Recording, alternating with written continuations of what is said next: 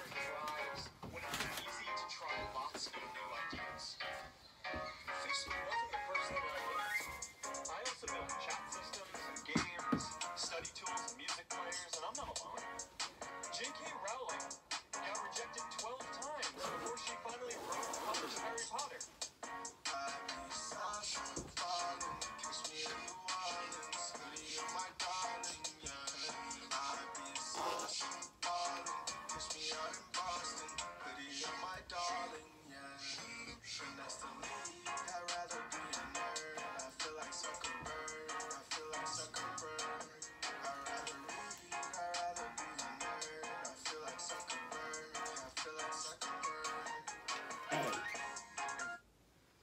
Welcome back to the Dr. Thinkenshine channel.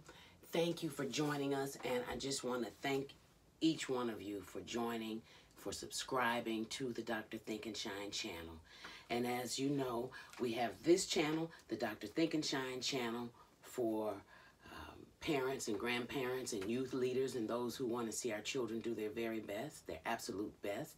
And then we have a new channel, the Dr. Thinkenshine Goes to School channel, which is a channel specifically for children. And I hope that that'll be a resource that they can play and, and read along and learn certain tips. So hope you'll share both channels with people you love. And what I want to say is thank you. I appreciate you from the bottom of my heart. I certainly appreciate every view and every like and every subscription on this page, the Dr. Thinkenshine page, and on the Dr. Thinkenshine Goes to School page. So I just want to say thank you. Thank you. Thank you. And with that in mind, I'll share this on both channels. Lulu says thank you. It's good to show appreciation. This is from the Dr. Thinkenshine Goes to School series. Lulu says thank you. Lulu was almost two years old. She was learning how to make complete sentences. Each day she would learn new words. Lulu's mother especially wanted her to learn the power words. She considered the power words to be words and phrases that show courtesy, civility, kindness, respect, and good manners.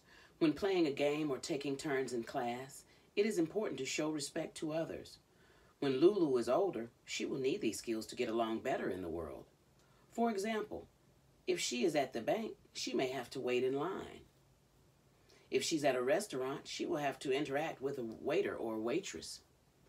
Good manners and respect are in order at any age. To respect is to hold someone in high regard and to consider their feelings. Lulu's mother, Lala, wants her to respect all people, the young and the old, boys and girls, the principal and the custodian or janitor, the poor and the rich, the homeless and the homeowners, people who are differently able, people who look and live as she does, and those who do not, police officers, judges, and lawyers, as well as those who are arrested and incarcerated. Lala knows that Lulu will make mistakes. We all make mistakes. Even adults make mistakes.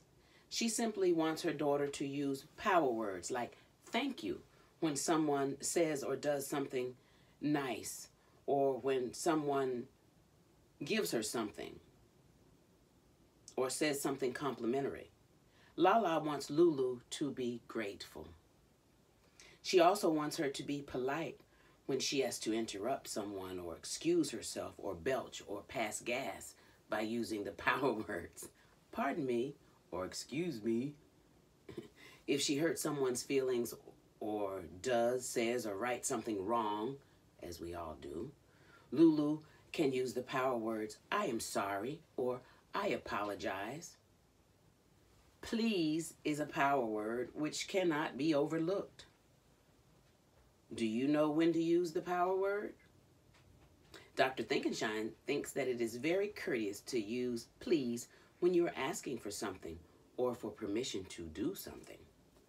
Let's all try to learn from Lala's lessons to Lulu and always try to use power words like please, thank you, pardon me, excuse me, and I apologize or I am sorry.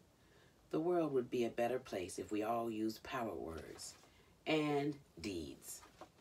Lulu says thank you, and Dr. Thinkenshine says thank you. I thank you again for every view, every like, and every share, and every subscription on the Dr. Thinkenshine channel and the Dr. Thinkenshine Goes to School channel. Stay safe. God bless you. And until next time, the Lord bless you and keep you. Make his face shine upon you. Be gracious unto you and give you peace, power, and love. More love. Boost. Lulu says thank you. And Dr. Thinkenshine says thank you too. Until next time, see what power words you can use. And look down in the comment section below and let me know what your favorite power words are. And in the meantime, I'd rather read. I'd rather be a nerd. I feel like Zuckerberg. Lulu and I feel like Zuckerberg because we'd rather read. We'd rather be a nerd.